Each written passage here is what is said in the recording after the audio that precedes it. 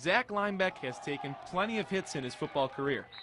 He's faced his fair share of tough opponents, but no moment was more difficult than Thursday night when the Walled Lake Central quarterback stepped onto the football field for the first time without his biggest fan in the stands. He taught me everything how to be a man, and he was always my biggest supporter. So it was just, I've learned a lot from him, and it was just great having him. Mike Leimbach passed away this June after a 10-year battle with cancer, but his legacy lives on, and his son that so many look up to. You know, Zach uh, has two younger brothers that he has kind of had to step up and become the man, the lead role in the family, and he does the same thing here. He's a rock for his family, and he's a rock for our football team. And these guys will be there for me no matter what. Whenever I need them, they're my family.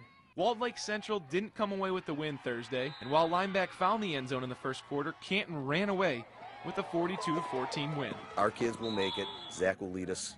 The season will get better and better as we go on. Canton's a great football team, but we're a great football team too. And with Zach on our side, we'll be fine.